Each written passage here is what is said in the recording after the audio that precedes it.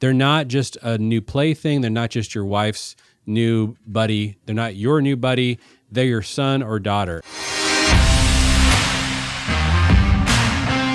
What's up, guys? Jeff and Jeremy here. Another episode of Five Minute Fatherhood. This one uh, is kind of a question we sometimes get from guys and fathers, and sometimes in our group.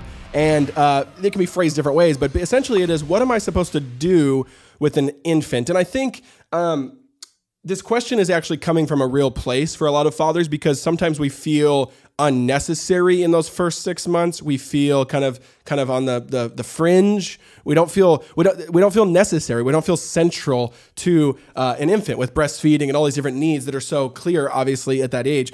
Um, but what I think is sad then is because of that, sometimes the default mode kind of becomes just like remove yourself and see them when they're two years old type of thing, or yeah. later, or not helping. And I don't think that's healthy either. And so we really, really believe here that fathers from day one should be as close to their babies and children as possible. And actually, that that stage, that six to 12 month stage, is actually integral with in regards to attachment and so making sure that that attachment is strong and being formed to a father not just the mother um, is really, really, yeah. really important. And so, Jeremy, I know you got a bunch of tips here, but what are some of you would say?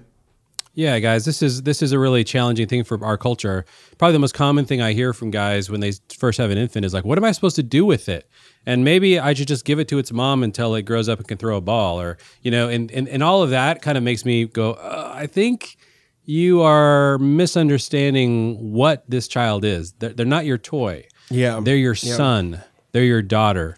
And so, what do you do with it with an infant? It's a super important period um, for the infant, but especially for you, because what's happening? Like, so you imagine you just you just this baby just came out of your wife, and you're like you're holding him, and all kinds something's going on inside your heart. Be very very careful to pay attention to what's happening in your heart.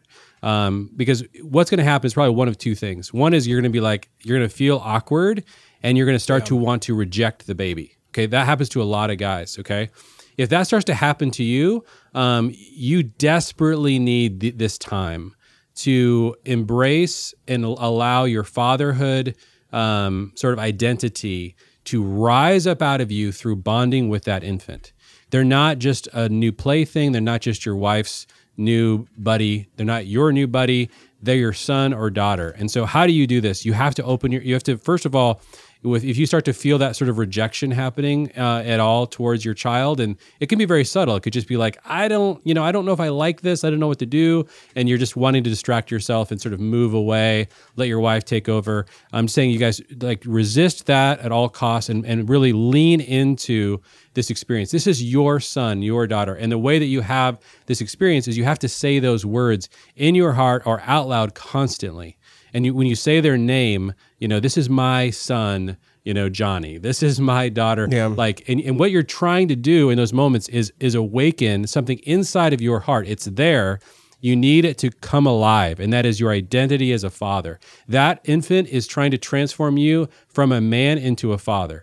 Allow them to do that. And the way that you do that is you have to embrace them and and bond with them as your son or daughter. It's sometimes not easy for us. You know, our wives they're feeding them and they they're crying when they're not with their with with their mom, and so a lot of times you can experience what you feel like is rejection from your infant and be like, well, I, yeah. I you know, like like figure out how to hold them, figure out what they like, figure out you know, it's like you got to get to know them, you got to bond with them. It's so important, mm-hmm. you guys. Mm-hmm. Again, for your sake, for the sake of your heart, uh, you need to have this bond you know, one of the things that ancient cultures used to do that really helped men get through this season is that they would actually all their guy friends would come over and celebrate yeah. the infant with this this new man, right? And they, they wouldn't do like cigars on the porch. They would take the baby, you know, yeah. and they would run around with the baby, you know, over their head.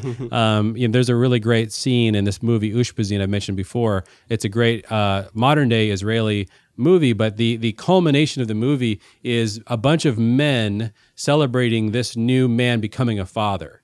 And I just mm. like, there's also a scene I think in Robin Hood, that old Kevin Costner movie, where yeah. Little John has a baby and like he grabs the yeah. poor little infant. This little is, I have a son, and he runs around like the whole little village up in the trees. And I mean, I remember when I first saw that, I'm like, well, what's he so excited about? You know, like this was before yeah. I had any epiphanies about fatherhood. Um, but man, that's that could be really cool. You can like celebrate with your friends, or those are a few ideas. And I just had a conversation recently with a friend of mine who's about to have their first child, and I, I get so excited about this season.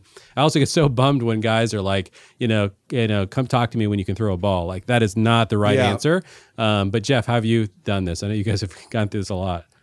Yeah, I think the exact same thing. I think it's just it's so critical to to be comfortable with infants and babies. Um, and what's cool is I think we see the, the not not opposite problem. We see the success in our community. I think what's really cool about the community we live in, and where you can sometimes where fatherhood is really upheld, you really see the beauty of man. It is so rich and compelling to see like fathers always holding the babies, right? And fathers always like, um, you know, playing with them, taking them on dates, you know, to giving the wife a break. And I feel like our community where we live here in Maui does that really, really well. And I just sometimes am like speechless, like, man, this is so compelling and incredible and awesome. But it starts with just day one, you know, and leaning into that, um, regardless of awkwardness or uncomfortability. Um, and actually, like, it's such a joy and it's such a gift. And I think realizing that is huge.